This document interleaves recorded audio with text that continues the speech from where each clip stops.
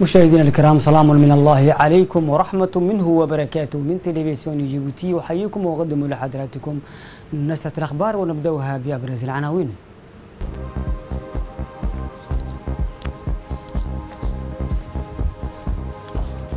فندق كمبينسكي يحصل على شهادة إيزو الخاصة في نظم سلامة الأغذية.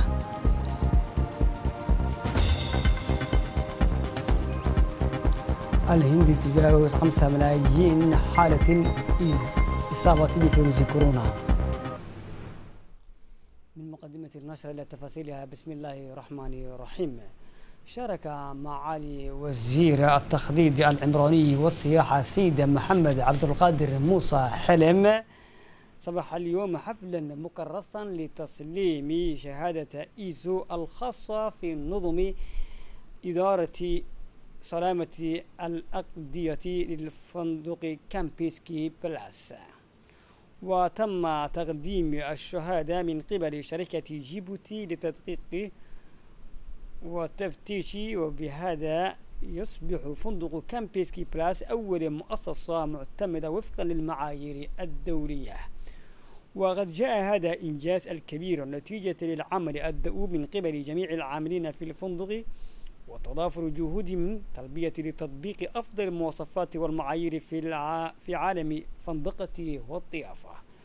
وتعد شهادة الإيسو معيار دولي محدث يحدد المتطلبات الخاصة بالنظام إدارة السلامة الغذائية والذي يقوم بتغذية جميع الوحدات العاملة في سلسلة الغذاء وتعتبر ذات الأهمية كبيرة استجابة للمتطلبات العمراء والتي تضم توفير المنتجات ذات الجودة.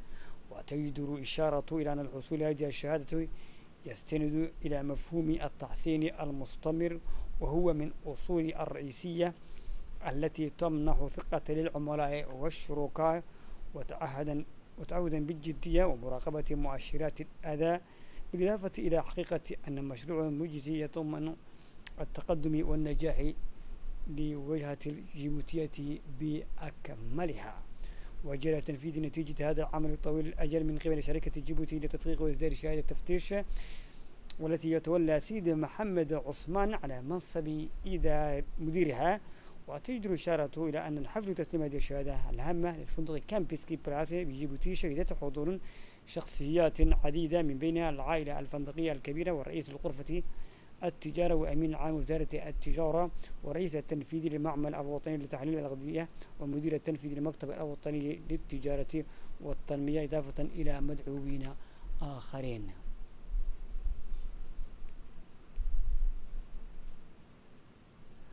ألقى مدير عام الفندق كمبينسكي بالاس خطابا في المناسبة أشار فيه إلى أن الحصول الفندق على شهادة إيزو الخاصة بنظم إدارة السلامة الأقضية يظهر التزام الفندق الكامل بتأمين أفضل أنواع الخدمة والضيافة باعتبار العملاء محور العمل اليومي. وأضاف لذا فإن نحن في تطور دائم في سبيل هذه القاية.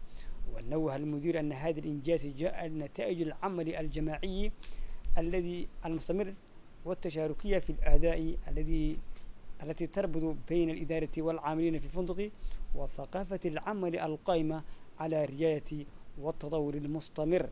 وتجدر إشارة إلى الشهادة تعد معيار الدولي محدث يحدد متطلبات خاصة بنظام إدارة السلامة الغذائية والذي يقوم بتغطية جميع الوحدات العاملة في سلسلة الغذاء وتعتبر ذات أهمية كبيرة استجابة لمتطلبات العمراء والتي تضم توفير المنتجات ذات الجودة. برعاية أمين الدولة للشباب والرياضة قام اتحاد الجيبوتي لألعاب القوى يوم أمس في في ملعب حسن جوليد أبتدون نهائي البطولة ألعاب القوى.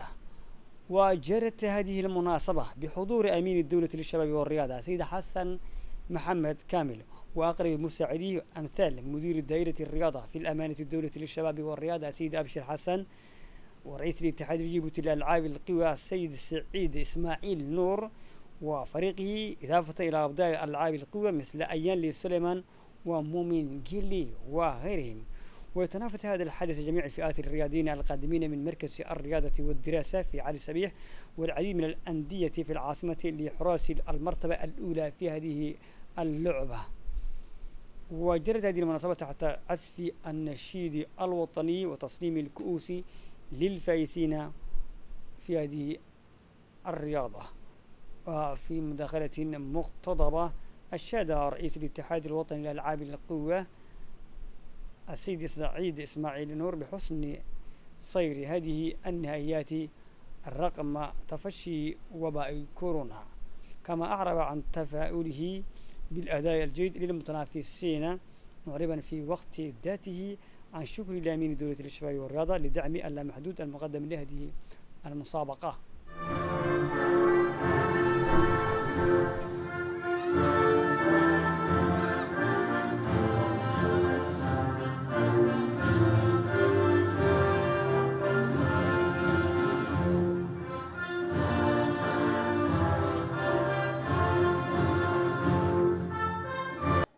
أحرك لي بسترد مسوسي نسجني وفي مقابلة له تحدث أمين العام للجنة الوطنية الأولمبية الجيبوتية على أهمية هذه المناسبة سنقول دبتدون لإحياء نهائي بطولة بطولة الوطنية لألعاب القوى. ونشكر الاتحاد الجيبوتي لألعاب القوى للمجهود الجبار الذي قام به وخاصة بعد جائحة كو- كوفيد 19 التي وقفت جميع الأنشطة الرياضية. ولكن الحمد لله الشباب في مستواهم العالي الليلة ليقدموا كل ما في جهدهم. السلام عليكم. من جانبه أشاد أمين دولة للشباب والرياضة سيد حسن محمد كامل بحسن تنظيم النهايات للبطولة ألعاب القوى حيث يعود الفضل الأول الاتحاد الجيبوتي لألعاب القوى وركز الوزير على ضرورة ترقية أداء العدائين من مختلف الألعاب الرياضية وخاصة ألعاب القوى التي برزت فيها جمهورية جيبوتي مكانتها في المسابقات الرياضية الدولية. وأعلنت أمين دولة الشباب والرياضة حملة واسعة النطاق في التراب الوطني لاكتشاف المواهب الشابة الجديدة في هذه اللعبة مشيرا إلى أن المركز الرياضة والدراسات في علي صبيح سيقوم بتدريب العدائين وأيضا في مجمع الضي الرياضي. احتضن فندق كمبينسكي بالاس صباح اليوم ورشة حول أعمال المهمة المشتركة لمراجعة برنامج المشترك والتخطيط لبرامج بين منظمة الصحة العالمية ووزارة الصحة العامة. وجرت أعمال هذه الورشة التخطيطية بحضور أمين العام لوزارة الصحة بالإنابة دكتور مكي محمد موسى ممثل منظمة الصحة العالمية في جيبوتي دكتور أحمد زويتن والمستشار الفني لوزير الصحة سيد عمر علي. كما حضر العديد من الإدارات وشهدت الورشة مناقشات الصريحة والشاملة والشفافة على دمج الضرورات الاستراتيجية اللازمة في مكافحة وباء كوفيد 19 وكذلك أهداف الصحة العامة المختلفة التي ستشكل خطة العمل المشتركة بين منظمة الصحة العالمية ودائرة الصحة. خلال اليومين سيطلب من المشاركين إلى مناقشة وتصديق على خطوط العريضة لتحسين رفاهية الصحة لمواطنينا ولا سيما من خلال الوقاية من الأمراض غير المعدية وتعزيز أنماط الحياة الصحية والنوعية الرعاية وتطوير النظام الصحي أكثر كفاءة. هذا وشهد الأمين العام لوزارة الصحة بالإنابة دكتور مكي محمد موسى. أولا وقبل كل شيء بالجهود التي تبذلها الحكومة الجيبوتية والالتزام رئيس الدولة سيد إسماعيل عمر جيلي الذي حدد النتائج المقنعة في محاربة وباء كوفيد 19 وكما سلط الدكتور مكي الضوء على قدرة بلدنا على مساهمة في تطوير نظامنا الصحي ومناقشة المشاركين وتصديق على خطوط العريضة لتحسين ورفاهية الصحة لمواطنينا ولا من خلال الوقاية من الأمراض غير المعدية وتعزيز أنماط الحياة الصحية ونوعية الرعاية وتطوير النظام الصحي أكثر كفاءة. أقيم يوم أمس الثلاثاء حفل ختامي لتدريب على تدخل والتحقيق في التجار بالبشر وتهريب المهاجرين تحت رعاية العقيد وعيس عمر بقري قائد الخفر سواحل جيبوتي وذلك بمركز التدريب المعسكري في دورالي. وقام بتنشيد هذه الدورة أعضاء من برنامج سيفي بول وجرت على مدى ثلاثة أيام لصالح عناصر من الخفر الصواحلي والترك الوطني والشرطة الوطنية. ويندرج هذا التدريب الذي يكتسي أهمية كبيرة يتناسب تماما مع المشاريع أو دورات تدريبية لصالح العناصر خفر السواحل من أجل مكافحة الأعمال الإجرامية للتجار بالبشر في مجال البحري. كما أتاحت هذه الفرصة إلى تأسيس والروابط التنسيق بين المختلف عمراء التدخل لقوات الأمن المعنية في عمليات مكافحة الاتجار بالبشر. وشهد الحفل اختتام هذه هذه هذا التدريب بتسليم شهادات للمتدربين من مختلف قوات الأمن من الشرطة الوطنية والدرك الوطني وخفر السواحل. وفي كلمة لممثل المتدربين أشاد النقيب محمد آدن بجودة هذه الدورة التدريبية التي قامت بتنشيدها خبراء من برنامج سيفي بول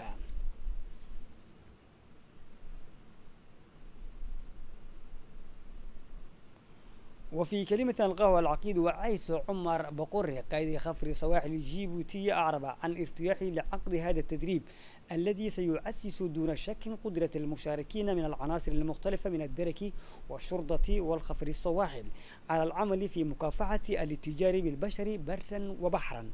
وأضاف أن هذه الدورة تكتسي أهمية الكبيرة يتناسب تماما مع دورات تدريبية لصالح العناصر خفر السواحل من أجل مكافحة الأعمال الإجرامية للتجار بالبشر في مجال البحري وتأسيس الروابط والروابط التنسيق بين مختلف العملاء التدخل للقوات الأمن المعنية في عمليات مكافحة التجار بالبشر. نظم مركز العمل الاجتماعي وتمكين المرأة كساف أمس ورشة توعوية لتدريب على خياطة وتصفيف الشعر والطبخ وذلك بدعم المالي من مركز القيادة وريادة الأعمال للفتيات. اللواتي تركن مقاعد الدراسة في وقت مبكر أو اللواتي لم يذهبن بعد إلى المدارس. وتهدف أعمال هذه الورشة إلى إدماج الفتيات في وسط المهني. هذا وستتابع المستفيدات نفس البرنامج الذي يتبعه مركز التدريب بالعوص للحصول على شهادة التدريب المهني السادر من وزارة التربية الوطنية والتكوين المهني. وحضر في هذه الورشة المستشارة الفنية لوزارة المرأة والأسرة السيدة نبيها سليمان حسن ومديرة كاسا السيدة النعمة يونس حوش ومديرة ترقية الجندرة السيدة ياسمين عبد المجيد ورئيسة الشؤون القانونية السيدة أركسن علي إضافة إلى رؤساء العشرين جمعية في بلدية بلبلة. كما شارك في أعمال هذه الورشة مئات من النسوة والفتيات من بلدية بلبلة وفي هذه الورشة التوعوية حضر رؤساء الجمعيات عشرين من من بلبلة بشكل عام وشاركت حوالي 100 مرأة وفتاة في هذه البلدية واجه المكتب الوطني لمياه وصرف صحي أونيعاد حدثا غير المسبوق حيث بدأت شركة أجنبية وخاصة العمل والبناء غير القانوني في إحدى مناطق تجمع المياه الطابعة لمكتب الوطني الكائن في منطقة عرتا وتحديدا في ناحية دمرجوغ هذه شركة خاصة للأسف تضررت بأحد أنابيب كبيرة التي كانت تسود العاصمة بالمياه الشرب. وتسبب هذا الكسر في خسارة تقدر بعشرة ألاف متر مكعب من المياه مما تسبب في نقص المياه في العاصمة ومحيط دمرجوغ ودودة. وعلى الفور توجه العملاء المكتب الوطني للمياه إلى منطقة المعنية وبعد أعمال شاقة استمرت ما بين 10 إلى 11 ساعة حيث نجح العملاء أن في إصلاح كسر. ويوجد في هذا المكان العديد من الآبار التي تمول المناطق يتم تس استيرادها من المؤن أمني لضمان أفضل النظام الغذائي. في دار دراسات لتقييم الآثار التنمية المجتمعية المتبادلة التي تعهدت بها وزارة المرأة والأسرة من المستفيدين المحليين في في 42 ناحية تابعة لمنطقة تجرة أطلق فريق متخصص للمتابعة والتقييم تم تشكيله من قبل الوزارة المكونة من المستشار الفني لوزارة المرأة والأسرة السيدة علي عمر ورئيس القسم الدراسات والإحصاء السيدة يحيى جمال. أطلق أعمال هذه الورشة منذ 14 من سبتمبر في مناطق الداخلية الخمسة من البلاد لمدة أسبوع. وتهدف هذه المهنة التي استفادت من الدعم المالي من قبل صندوق الأمم المتحدة للسكان تهدف إلى تقييم التغيرات النوعية التي أحدثها من خلال إنشاء المجتمعات التنموية للمجتمع في النواحي المستهدفة إضافة إلى تنظيم مجموعات لتوعية القادة المحليين بأهمية تخطيط الأسرة وأماكن الولادة من أجل رفاهية الأسرة. تلقينا ببالغ الحسن والأسى نبأ وفاة السيد محمد علي مكي الذي وافته المنية يوم الأحد الماضي في فرنسا وترك المرحوم محمد علي مكي من مواليد عام 1963 وراءه أسرة كبيرة في كل من جيبوتي والتجرة وأديس أبابا وأوراش وأرار ودلسا في إثيوبيا. ونسأل الله مولى عز وجل أن يتغمد الفقيد بواسع رحمته ويلهم أهله وذويه الصبر والسلوان. إنا لله وإنا إليه راجعون. ودوليا أظهرت بيانات وزارة الصحة الهندية أن إصابات كورونا في البلاد تجاوزت خمسة ملايين. التفاصيل نتابع مع زميلنا نعمة صالح إسماعيل. رتب بيانات وزارة الصحة الهندية أن الإصابات الكورونا في البلاد تجاوزت الخمسة ملايين اليوم الأربعاء بقفزة بلغت تسعين ألف ومئة وثلاث وعشرين إصابة خلال الأربع والعشرون ساعة الماضية. وباتت الهند ثاني دولة في العالم تتجاوز خمسة ملايين إصابة بعد الولايات المتحدة. وقالت وزارة الصحة أنها سجلت ألف ومئتين وتسعين حالة وفاة خلال الأربع والعشرون ساعة الماضية ليصل عدد الإجمالي الوفيات ألف واثنين وثمانين وستمائة وستين. ليصل إجمالي الوفيات إلى اثنين وثمانين ألف وستمائة وستين بعد يومين أصبح الثاني دولة في العالم من حيث عدد الحالات بعد الولايات المتحدة وتختبر الهند الآن حوالي مليون شخص يوميا وهو ما يقول العديد من الخبراء أنه يكفي ويقدرون أن العدد الفعلي للعدوى يمكن أن يكون أعلى من ذلك بكثير. شهدت عدة المدن الفلسطينية فعاليات قاضبة ضد توقيع اتفاقيتي السلام بين الدولتين العربيتين واحتلال الإسرائيلي. التفاصيل من جديد مع زميلة نعمة صالح. شهدت عدة المدن الفلسطينية فعاليات غاضبة ضد توقيع اتفاقية السلام بين الإمارات والبحرين والاحتلال الإسرائيلي. وفي مدينة نابلس شمال الضفة الغربية خرجت مسيرة حاشدة نددت باتفاق تطبيع الإمارات والبحرين وطالب المشاركون الدول العربية خاصة والعالمية بالوقوف إلى جانب القضية الفلسطينية وحقوقها العادلة التي كلفتها شرعية الدولية وإقامة دولة مستقلة على حدود الرابع من يونيو عام 1967 وأكد عضو لجنة تنسيق الفصائل في نابلس محمد أن القضية الفلسطينية تواجه خطر التطبيع مع احتلال الإسرائيلي في إطار تصفية للحقوق المشروعة والالتفاف على ثوابت الوطنية التي يؤكد الجميع التمسك بها. بهذا النبأ الدولي تنتهي نشرتنا والسلام عليكم ورحمة الله وبركاته.